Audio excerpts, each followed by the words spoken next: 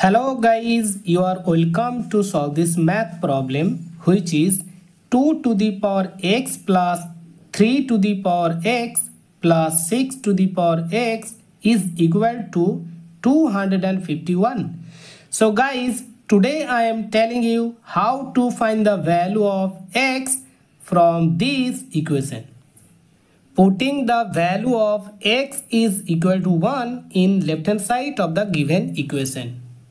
So we can write in here 2 to the power x plus 3 to the power x plus 6 to the power x is equal to 2 to the power 1 plus 3 to the power 1 plus 6 to the power 1 that is 11 which is not equal to 251.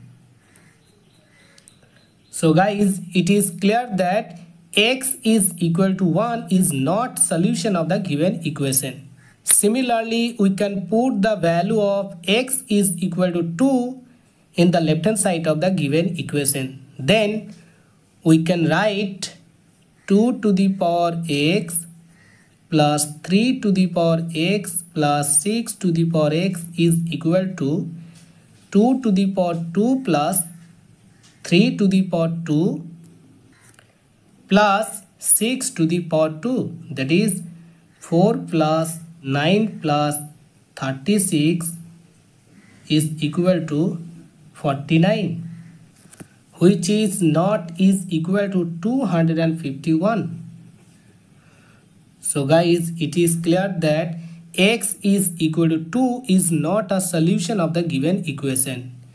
And for x is equal to 3, similarly we can write from the left hand side 2 to the power x plus 3 to the power x plus 6 to the power x is equal to 2 to the power 3 plus 3 to the power 3 plus 6 to the power 3 is equal to 2 to the power 3 that is 8 plus 3 to the power 3 that is 27 plus 6 to the power 3 that is 216 so guys if you add this three number then you get 251 that is right hand side. So guys the value of x is equal to 3 that satisfied the given equation 2 to the power x plus 3 to the power x plus 6 to the power x is equal to 251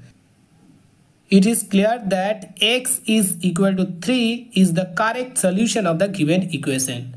So guys, our answer is complete. If you like this video and if you like this trick, so please support me and subscribe my channel. Thank you. Bye bye.